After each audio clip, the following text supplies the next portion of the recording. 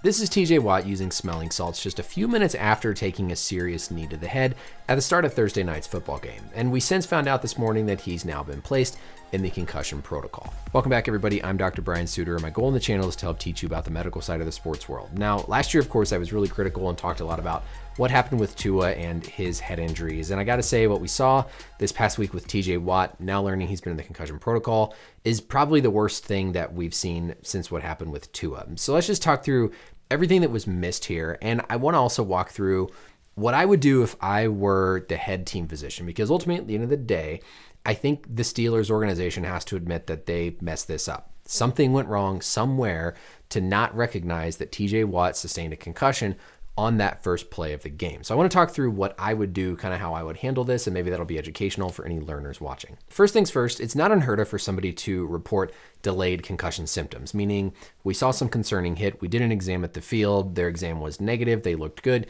but then the following day they report symptoms. So that in of itself is not a concerning thing. But when we hear about these delayed presentations, the first thing we have to do is look back and say, was there a mechanism, was there a time where we could justify or say that a concussion likely occurred. And I think there's no doubt with what that moment was here for TJ Watt. Very first play of the game, takes this inadvertent knee, and the announcers kind of unfortunately said it looked like he took a knee more to the face. But this should be considered just a knee to the head. I mean, yeah, the face mask is there, but look at how Watt's head is pointed straight forward. And then as this knee comes through, his head gets knocked off to the side. And so, yes, this does push his face mask back. Yes, this could potentially injure the jaw, but this also definitely has to be considered from the spotters, from the independent neuros, as a blow that would be concerning for a potential head injury. And then, of course, we saw how Watt remained down on the field, needed some time to get up. And the first thing with all this that I don't understand is why there was no head evaluation. Now, this doesn't entirely fall on the Steelers, right? There's independent spotters, there's the independent neurologist, there's a lot of different layers of people responsible for making that call down to say this player needs to have an evaluation for a head injury, take them back into the blue medical tent. We didn't see any of that. We just saw Watt on the sideline talking with presumably the Steelers' own medical staff, but he never went into the blue tent. There didn't appear to be any head injury evaluation despite what everybody saw on the replay. So that I think is issue number one. Not so much within the Steelers organization, but whatever happened with the independent system that was in place at the game needs to be examined because those people, in my opinion, are just as accountable here for not phoning down and saying, hey, the independent neuros need to do an exam of this player who was taken off the field after getting kneed in the head and looking to be a little bit slow to get up. The next concerning thing then is, of course, just a few minutes later. So this is with 6:40 left in the first quarter. Injury happened on the very first play. So this is maybe in real time, 10, 15, 20 minutes later. We see Watt on the sideline, clearly with that sort of dazed, deer in the headlights look.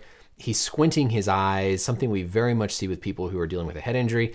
And we see him using some smelling salts right here.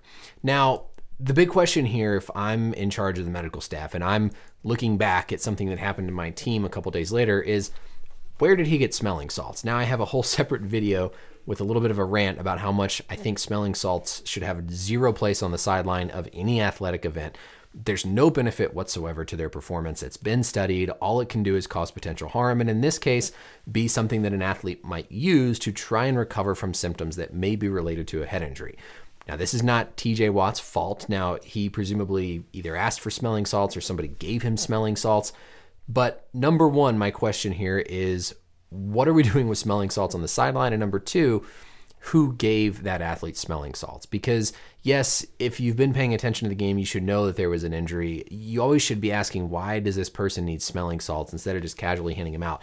And so the fact that we saw somebody who took a head blow, was not told to be evaluated by the independent neurology team from the stadium spotters, the independent groups, and then just roughly eight minutes of game time later, we see on the sidelines using smelling salts and returning to play are extreme, extremely concerning red flags for some failure in this whole system. How he got the smelling salts, why there was no evaluation, why they even have smelling salts on the sideline.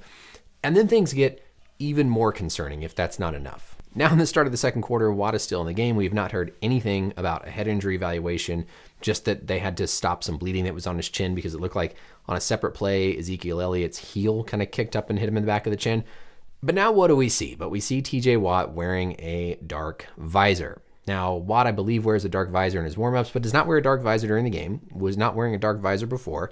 And of course, one of the common symptoms of a concussion is photophobia, which is light sensitivity. And so there were no eye injuries that were being evaluated. And eye injury is the only reason I could justify why you would put a visor on somebody. And so we've got the smelling salts, we've got the hit to the head. Now you're seeing your player who you've previously been concerned about an injury to the head, whether it was the face or the jaw, putting on a different visor. These are enough things that you have to wonder why questions weren't raised by your medical team. And then Watt, presumably, you would check on him at halftime. And so, checking on him at halftime, you've seen the visor. You probably haven't seen the smelling salts, but he may mention that he used them. And still, we didn't really necessarily hear anything about a head injury evaluation. Then, to make it even more concerning after the game, there was a report that he missed his interview because of a migraine. So, there's already symptoms starting to set in. So, what would I do if I was in charge of this team? Because I'm a team physician, I cover a college football team, and so it's very possible that my team could end up on a replay one morning because of a player who had a delayed concussion and there might have been something concerning that we missed. So, what would I do if I was in charge? I think step one is you have to come out and you have to say, we screwed up. The system failed. And instead of putting it necessarily on one individual player publicly or one individual person publicly, I should say, you have to admit number one that the process failed on multiple levels. This wasn't just the independent neuro spotters and the independent ATs in the booth. This wasn't just the Steelers medical staff. This was a system-wide failure, and you have to admit and say we messed up because public, the fans are smart enough this day and age where you can't just say, well, you know, we're going to kind of blow it off. You got to admit number one that you screwed up and you're investigating how to do better. I think you have to investigate that on multiple levels then. What happened with why there was no initial head injury evaluation that was phoned down? Number two, what are we doing with smelling salts on the sideline? Where did the smelling salts come from? If people are just willy nilly able to get smelling salts, then I would institute a change on my team where number one, I wouldn't want to have them. But if we had to have them, there has to be some system of who's getting smelling salts. We can't just have them laying around for people to reach out and grab. And so maybe that's a change that you make so that we're not getting smelling salts passed around to potential head injury athletes the next thing is in if we're paying attention. So after we see somebody concerning for head injury or any injury, we keep an eye on them through the game. And so then I'm checking to see did we properly check in at halftime? Were we keeping an eye on things? Were we factoring in the visor change? Those are the questions that I would be asking. But I think the big thing first off is you have to admit that you made a mistake. And if I'm ever in that situation, I hope I would do the same. But I think you can't just skirt by this and try and fool the fans. I think the Steelers need to come out and say, yeah, the system failed. Something messed up here. We messed up here. Likely not just one individual person. There's likely multiple things where the system failed. But you have to acknowledge that the system failed. The system failed TJ Watt, and the system needs to be examined to figure out what we can do better. Whether it's, again, lack of smelling salt, something, if there's an equipment change that needs to prompt the independent neuro to take a look, something needs to be changed from the situation because I don't think we've seen this exact type of scenario where this many things have happened. But hopefully we'll learn from it admit accountability here, admit that the team screwed up, learn from it, and then move forward. I don't want people to get fired. Nobody should get fired over this because I don't think it was one individual person. I think it was the system as a whole that needs to be looked at to see what can be done better. I wish the best for TJ and his recovery. Of course, when you continue to play through things that are concerning for a head injury, there's always a chance things could get worse. And so hopefully we're not dealing with any more prolonged recovery or prolonged symptoms. Let me know as always any questions or comments down below. And until next time, we'll see you later.